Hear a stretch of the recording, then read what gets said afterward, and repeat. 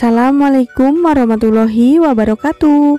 Hai Youtube Ketemu lagi dengan saya Nurani Suwarto Happy Cooking. Untuk hari ini saya ingin berbagi resep Yaitu ini resep yang sederhana sekali Dan juga membuatnya sangat simpel ya teman-teman Yaitu botok tahu. Ini rasanya enak dan juga gurih Cocok juga buat ide menu sehari-hari. Untuk gimana cara membuatnya? Simak terus ya videonya Bahan-bahan yang sudah saya siapkan ini ada 5 kotak tahu yang ukuran sedang. Kemudian tahunya dihancurkan.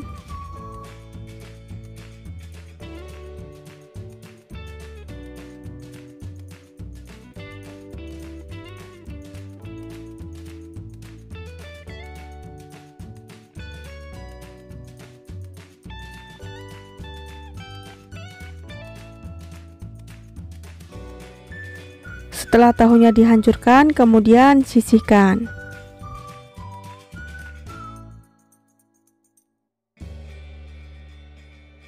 Untuk bahan-bahan bumbu saya menggunakan cabai secukupnya, bawang merah 4 siung, bawang putih 2 siung.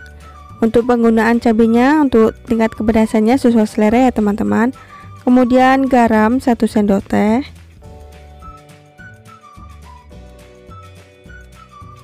Lalu bumbunya saya haluskan. Untuk penggunaan cabenya boleh banyak atau sedikit ya teman-teman. Ini saya cuma memakai 10 biji cabai rawit.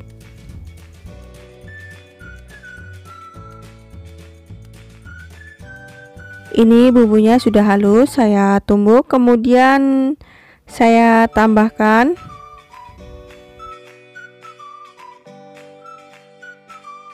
Lalu saya tambahkan kencur bubuk setengah sendok teh,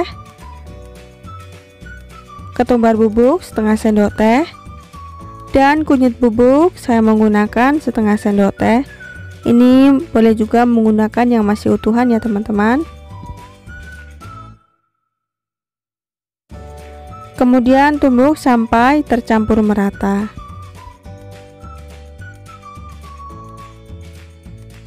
Nih setelah tercampur merata kemudian saya sisihkan.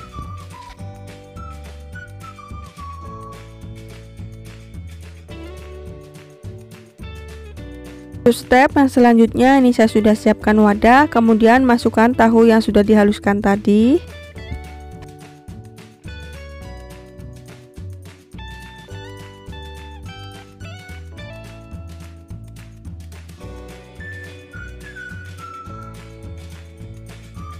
Lalu tambahkan kelapa parut satu buah.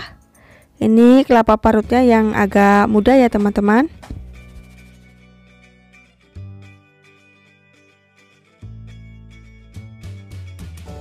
Ini saya juga memakai udang kering secukupnya yang sudah dicuci bersih.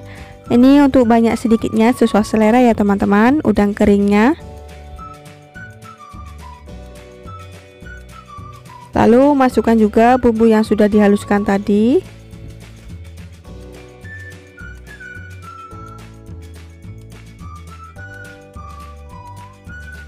Kemudian aduk-aduk sampai tercampur merata.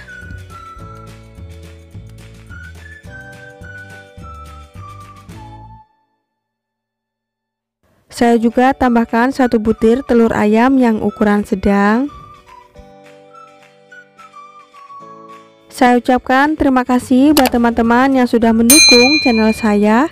Yang belum subscribe, subscribe ya karena subscribe itu gratis. Dan jangan lupa tekan tombol loncengnya agar setiap saya video ada notifikasinya. Terima kasih.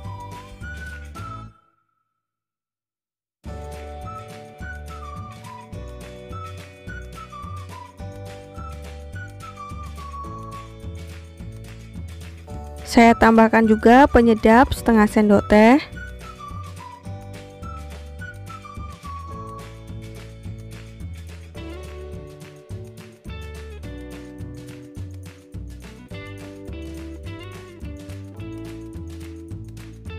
Setelah semua bahan tercampur merata, kemudian jangan lupa untuk dites rasa ya teman-teman, apa yang kurang boleh ditambahkan. lalu siap untuk dibungkus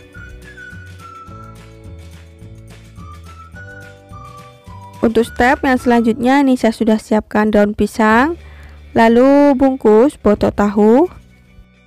Ini untuk isiannya banyak sedikitnya sesuai selera ya teman-teman. Ini saya menggunakan 2 sendok makan. Kemudian bungkus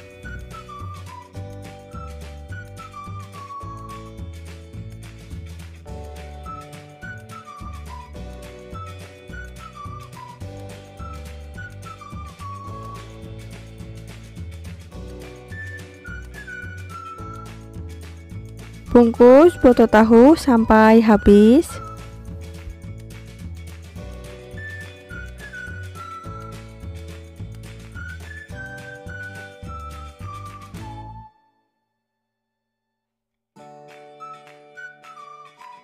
Dan ini hasilnya ya teman-teman setelah semuanya dibungkus siap untuk dikukus.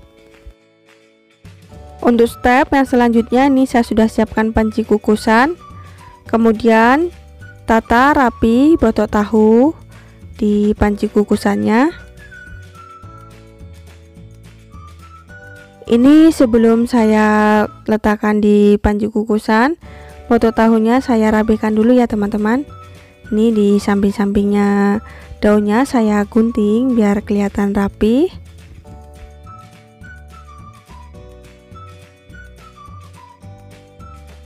dan kukus selama 20 menit ini karena isiannya sedikit ya teman-teman. Ini saya mengukusnya selama 20 menit. Kalau isiannya banyak ini sampai 30 menit ya teman-teman.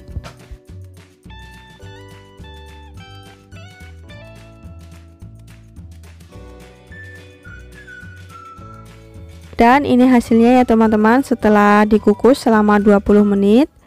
Kemudian saya angkat dan angin-anginkan